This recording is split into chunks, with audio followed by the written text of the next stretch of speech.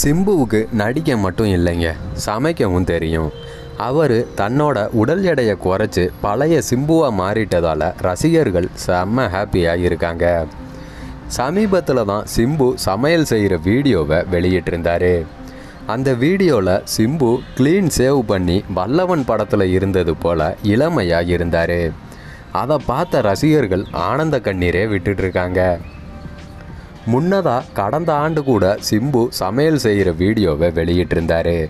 ஆனால் அந்த வீடியோவில் இருந்த சிம்புவோட தம்பி போல இருக்காரு இந்த வீடியோவில். இதை பார்த்து தான் ரசிகர்களுக்கு ஒரே ஹாப்பி லேட்டஸ்ட்டாக வந்த சமையல் வீடியோவை பார்த்த ரசிகர்கள் என்ன சொல்லியிருக்காங்கன்னா தலைவா உனக்கு மட்டும் வயசு பின்னாடி தான் போய்கிட்டு இருக்கு. வல்லவன் படத்தில் பார்த்தது போல இருக்கீங்க. விண்ணை தாண்டி வருவாயா படத்தோட பார்ட் டூ மன்மதன் படத்தோட பார்ட் டூவை எடுங்க ப்ளீஸ் இப்படி க்ளீன் சேவ் லுக்கில் சின்ன பையன் மாதிரி இருக்கீங்க.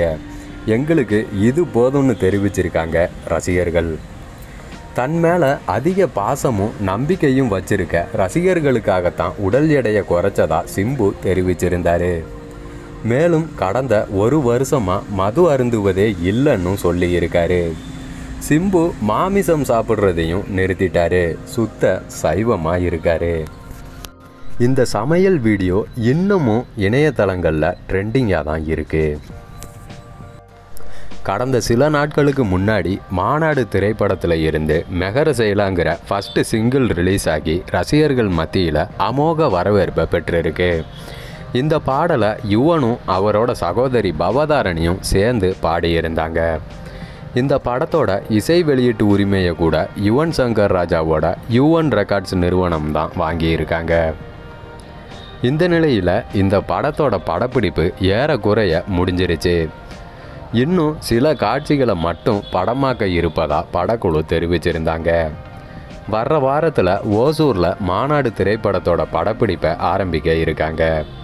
இதில் முக்கியமான சண்டை காட்சி ஒன்றை படமாக்க இருக்காங்க.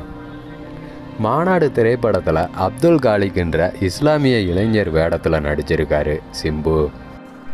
அரசியல் மாநாடு ஒன்றில் நடக்கிற அதிரடியான திருப்பங்களை கொண்ட நிகழ்வுகளை மையமாக வச்சு இந்த படத்தை உருவாக்கியிருக்காங்க இந்த நிலையில் கொரோனா அச்சுறுத்தல்லாம் முடிஞ்சு கூடிய சீக்கிரம் திரையரங்குகள்லாம் திறக்கப்பட இருக்க நிலையில் அக்டோபர் மாதம் இல்லைன்னா தீபாவளிக்கு மாநாடு திரைப்படத்தை ரிலீஸ் பண்ண திட்டமிட்டிருக்காங்க படக்குழுவினர்.